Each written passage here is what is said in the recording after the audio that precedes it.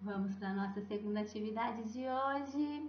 A gente vai usar agora uma daquelas folhinhas que a tia Jana mandou para casa. Essa daqui, ó, onde tem essa menininha, tá vendo? Alguém sabe me falar o que, que essa menininha é?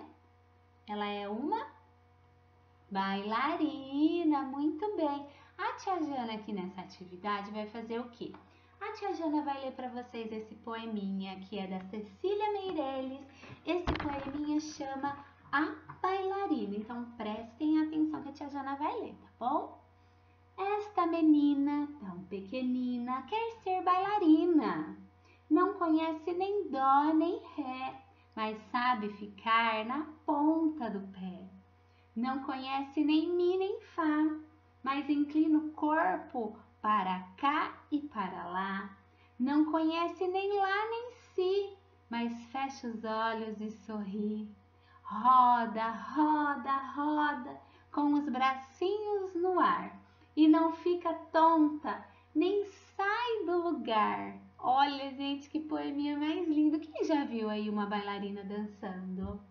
Não é assim mesmo? Ela não fica lá na pontinha dos pés, levanta os bracinhos e roda, roda, e a maioria das vezes ela fica rodando lá no mesmo lugar, não é verdade?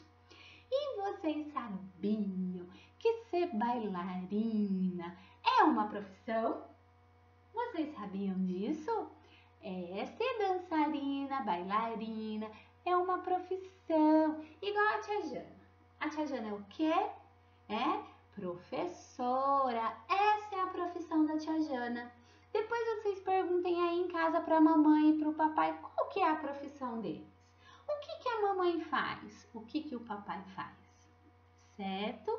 E nos vídeos dessa semana, a tia Jana colocou algumas profissões aí para vocês conhecerem, tá bom? E o que, que a gente vai fazer nessa atividade? Vocês vão pensar aí vocês vão querer ser quando crescer? Será que a gente vai querer ser bailarina, professor, médica, enfermeira, hum? cozinheiro? Ai, que delícia fazer aquelas comidas super gostosas, não é verdade? Jardineiro, carteiro. Gente, tem um monte de profissão. A tia Jana colocou nos bits somente algumas. Mas na próxima semana a tia Jana coloca mais algumas para vocês conhecerem, tá certo?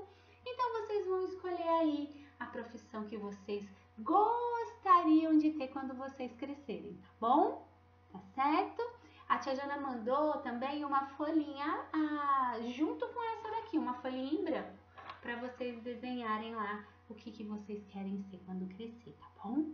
Aí depois vocês me contam, tá? E até amanhã!